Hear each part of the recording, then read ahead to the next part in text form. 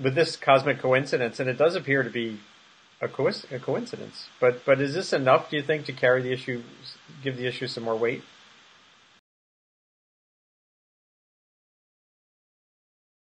Well, certainly give it weight in Chelyabinsk. Um, in terms of uh, in the rest of the world, I think uh, you know, Andy, we have a pretty short uh, uh, time span for, for breaking news. So I would think for a couple of days, you know, it's in the front of everybody's mind. Uh, but then I think it's only people with a longer term perspective who uh, will remember it for a while. And hopefully, we're going to be able to convert that into both public information in terms of education of the public on what these things are all about, but also convert it into support uh, because, as you know, the Sentinel space telescope that we are proposing and working on is a privately funded space venture. I mean, we're a nonprofit. This is not for profit. Uh, we're a nonprofit foundation, but uh, we're not looking at government money. We're really looking at uh, support from the general public, the world public, really.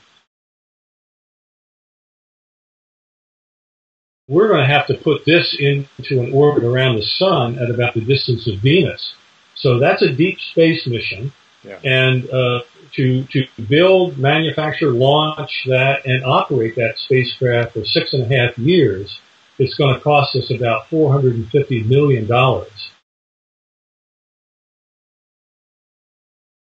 The question has arisen periodically in the internet of can we be smarter than the dinosaurs?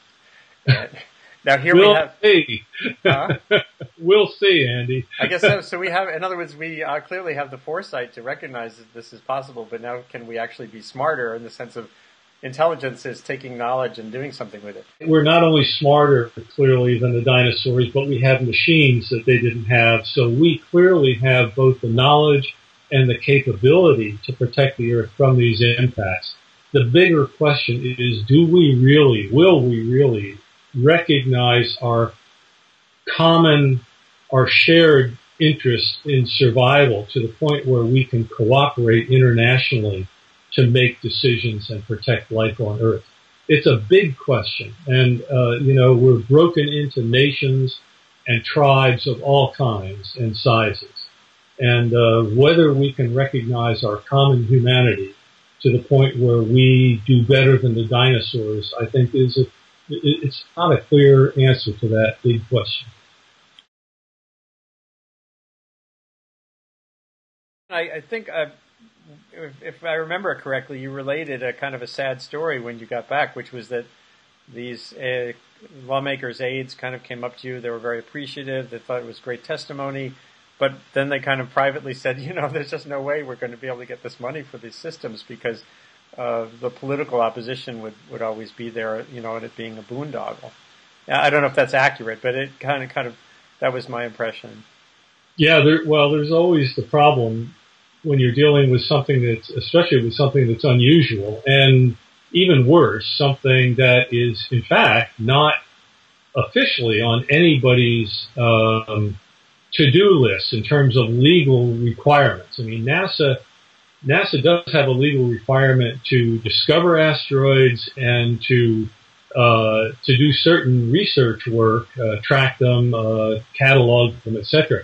But NASA does not have the responsibility, nor does anyone else, for protecting the Earth from uh, potential impacts. And so um, it's always been sort of a second. Um, uh, it's not even a second priority. It's a pretty low priority in NASA's normal work, which is to you know do space science and to explore space. But public safety. I mean, this is really public safety. This is not science or exploration. And so it's always been a sad sister, and it was only because the Congress really pushed back in the mid to late 90s that NASA had year after year about $4 million, all of $4 million um, annually to do the search program. Um, but then uh, more recently, with some other recommendations that Tom Jones and I and others made, um, NASA's gotten bumped up to 20 million. But now with the sequester and everything, and the tremendous um, contention in Washington, uh, and really cutting into the bone almost on all federal agencies, um, you know, this just isn't. I, I wouldn't think that this is going to go anywhere. Obviously, there certainly should be some attention paid by the space committees in both the Senate and the House, and uh, I have no doubt that they will.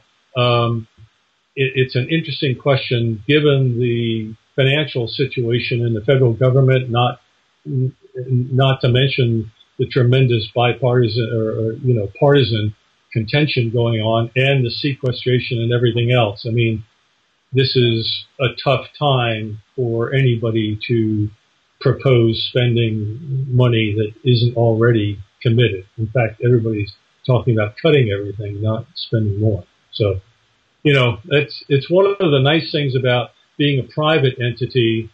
We can focus on something that's of very great importance and we can see it through, notwithstanding, you know, the rapidly changing political environment.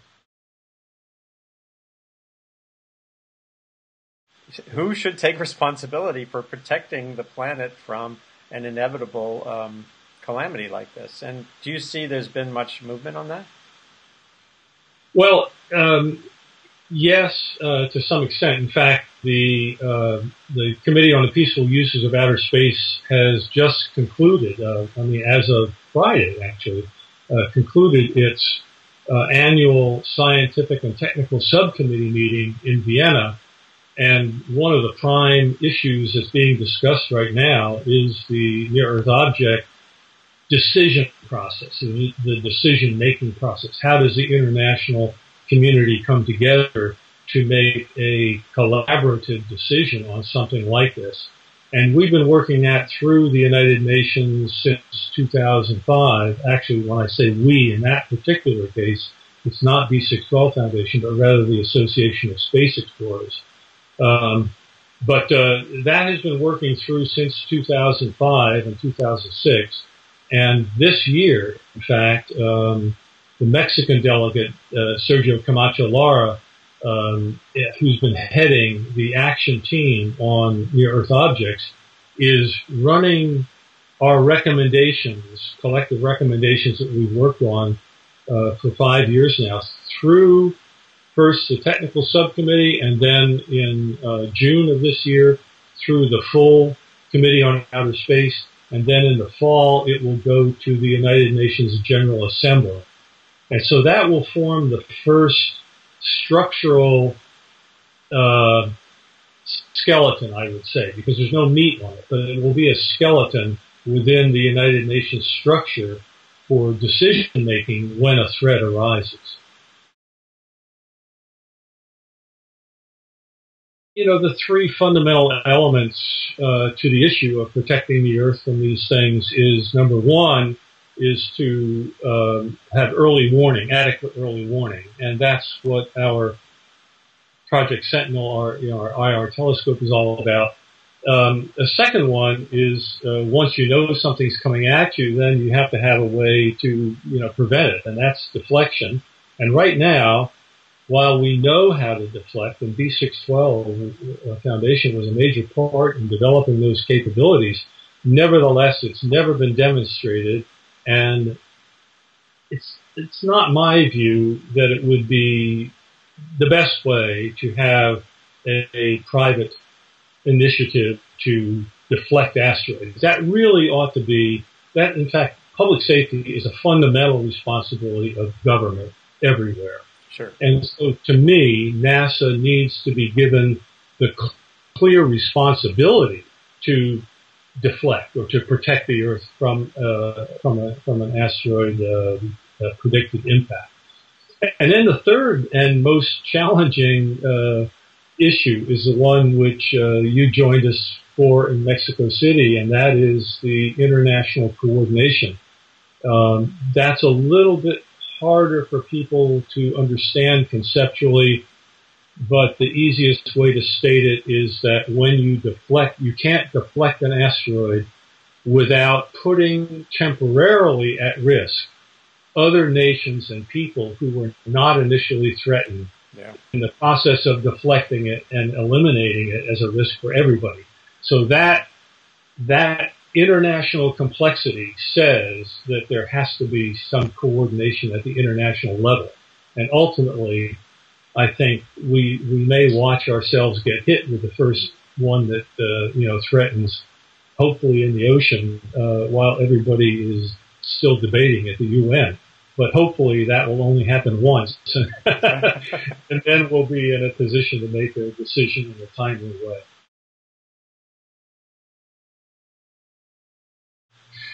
Well, uh, I, I, hope so. It'll, it'll it'll be fast enough um, in the long run. Let me let me put it that way, because these things only hit the big ones only hit um, once every 300 or more years uh, on average. Uh, you know, the one that came in in Chelyabinsk uh, the other day, uh, they finally sized it at about 51 meters in diameter, and um, oh, excuse me, that was 17, pardon me, 17 meters in diameter. But even that is only about a once in a hundred year event.